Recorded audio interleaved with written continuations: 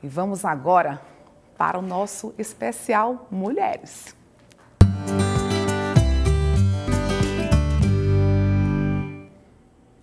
Existem mulheres que poucos conhecem. Elas estão ali no anonimato, mas para muita gente elas têm um significado indescritível, se dividem entre as tarefas domésticas, de mãe, de profissional e sempre dão um jeitinho para ajudar quem precisa.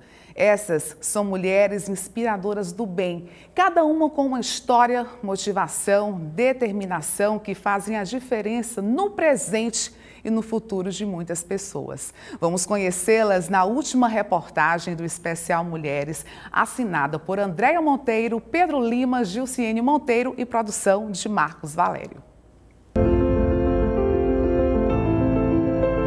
O sorriso largo de Ildete tem um motivo especial o trabalho voluntário que exerce há mais de 30 anos.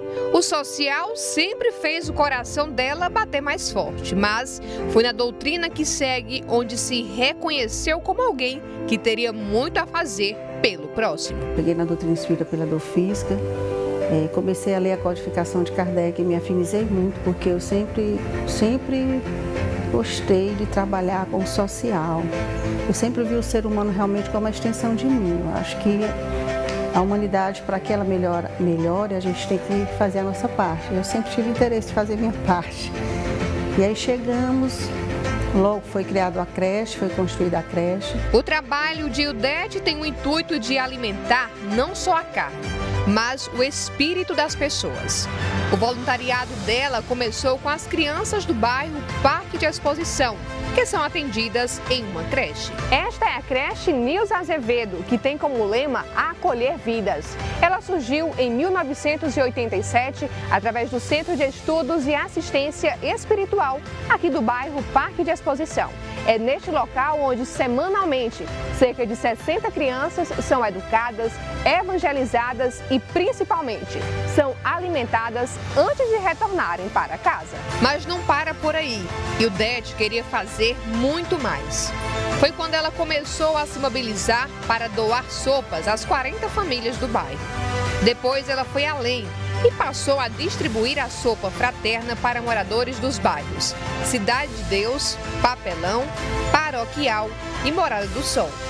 Além de todas essas ações, o DED também tem o projeto Doutores da Alegria, que realiza atividades no Hospital Regional Justino Luiz. É, e levar aquelas pessoas que naquele momento de fragilidade da doença, né, da enfermidade, elas possam receber afeto, receber alegria, carinho, mensagem, né, tudo aquilo que a gente vai aprendendo no convívio com as, com as pessoas e tudo aquilo que o Cristo tem nos ensinado.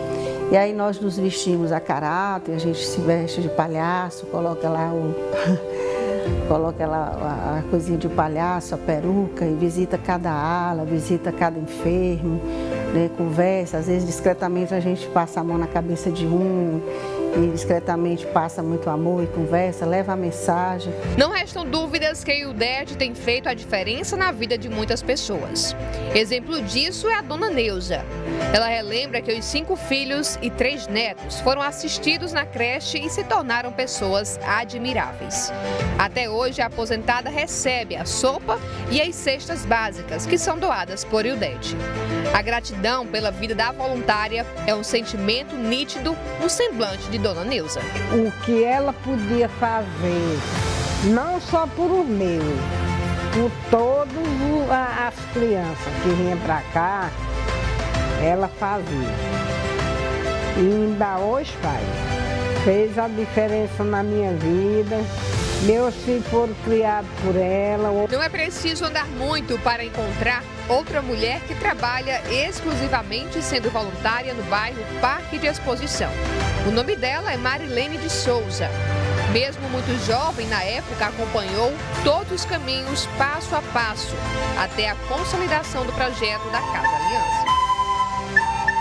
A Casa Aliança surgiu é, em 2003 através dos missionários italianos, né? pensando em dar continuidade a um projeto que era a Creche Aliança. O objetivo era um acolhimento mesmo para as crianças e poder também ajudar as famílias. Né? Aqui eles, eles são acolhidos, aqui eles também têm a oportunidade de, de aprender e desenvolver algumas atividades. Já são mais de duas décadas buscando transformar, por meio da educação, a vida daqueles que moram no bairro.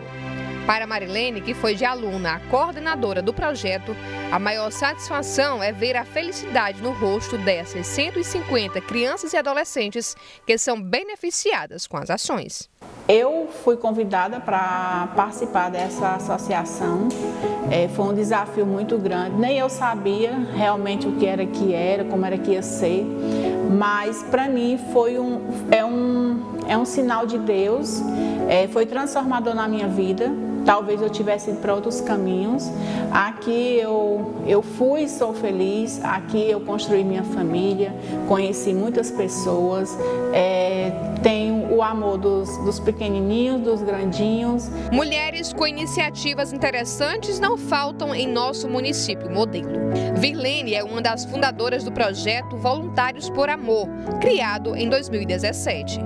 Atualmente, ela ajuda cerca de 30 famílias carentes que estão cadastradas para receber as doações. O projeto Voluntários por Amor ele surgiu a partir de uma ação que a gente fez no abrigo dos idosos aqui de Picos, né? Que foi Faça um Idoso Feliz. Então, através dessa campanha, a gente formou um grupo de pessoas que ficaram interessadas em continuar com o voluntariado, não só apenas com campanha. E então, a partir daí, a gente começou a fazer campanhas em outros bairros carentes da cidade de Picos, né? É nítido que as ações desse tipo fazem bem à voluntária. Ela até já pensou em desistir, mas descreve o quanto é prazeroso fazer parte do projeto solidário. Eu mesmo já cheguei a falar, ah, vamos desistir porque tá fraco, né? Enfim, mas aí quando você faz uma campanha, você volta, tipo, reabastecida e reanimada de novo, né? Porque você fala, poxa, você vê né, a necessidade, o brilho nos olhares das crianças ou das pessoas mesmo que realmente são necessitadas, né?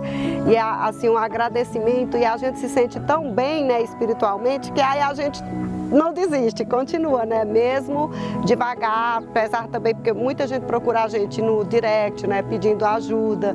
Então a gente está se motivando, eles mesmos estão nos mantendo motivados. Quando a gente passa, pensa em desistir, eles falam, ah, não, vocês já ajudam muito, né? Mais do que ajudar outras pessoas, o voluntariado transformou a vida dessas super mulheres que há tantos anos tentam fazer desse mundo um lugar melhor. Me sinto realizada, me sinto acolhida, é, me sinto assim transformada, entendeu? Então sou muito grata é, por esses anos que eu, que eu estou aqui, por, por me sentir assim que, que realmente foi um presente de Deus na minha vida.